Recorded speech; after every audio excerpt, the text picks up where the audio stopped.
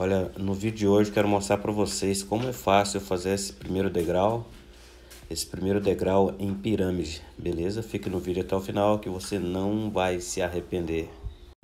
O que vem a ser esse primeiro degrau? A gente vai fazer o degrau normal e mais 30 centímetros para o lado direito aqui, porque a gente vai fazer isso. Imagine, se quiser subir por aqui, eu posso subir. Se eu quiser entrar por aqui na escada também posso. Então, os dois lados. Esse degrau, esse primeiro degrau, ele vai vir aqui e fazer essa parte aqui. Então, 30 centímetros aqui e 30 centímetros além da escada para ficar uma entrada pro lado direito. Vou mostrar aqui mais de perto o que a gente está fazendo aqui e o porquê que a gente está fazendo desse jeito, fechou? Esse primeiro degrau, ele vai pegar aqui onde está essa parte, esse escoramento aqui, ó, até mais ou menos aqui. Então ele vai ficar um metro, vai seguir nesse nível aqui, daqui para cá.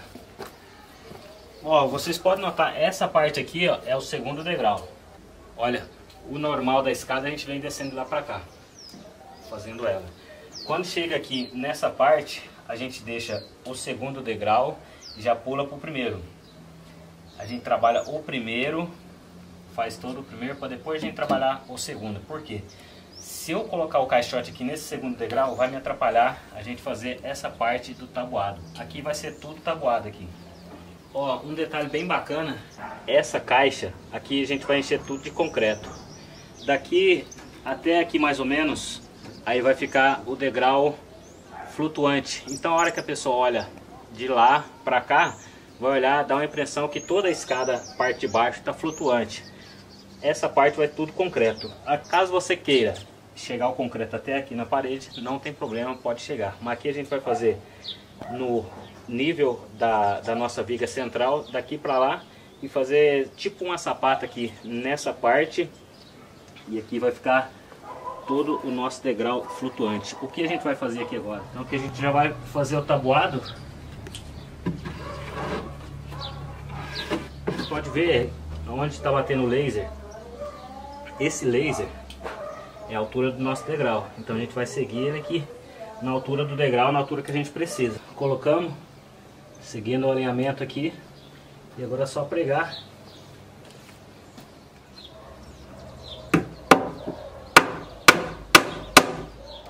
Agora a gente vai fazer o restante do tabuado aqui e daqui a pouco eu volto para mostrar para vocês como a gente fez.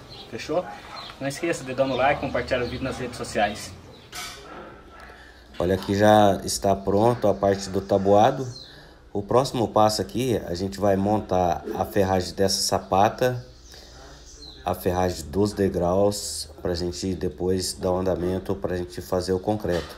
Agora o próximo passo a gente vai mostrar como ficou a nossa ferragem. Olha, a ferragem a gente está usando ferro 10 milímetros estou trabalhando aqui com um espaço de 12 centímetros a cada ferro. Então a gente está fazendo aquela tela, então é, para a direita e para a esquerda e fazendo aquela tela para ficar bem reforçada a nossa, a nossa tela do degrau.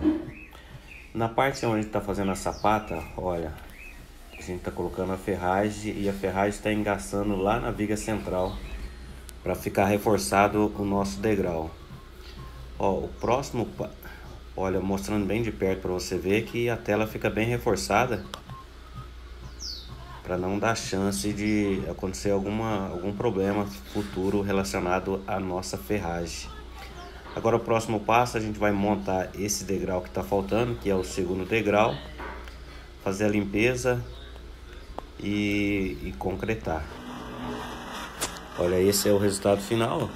Depois de todos esses processos, Agora fizemos um concretinho, aquele concreto como a gente sempre faz, é, vibrando com martelete para o resultado ser um resultado bem bacana.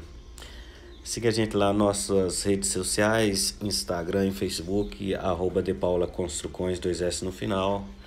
Então obrigado por assistir o vídeo, fique com Deus e até o próximo.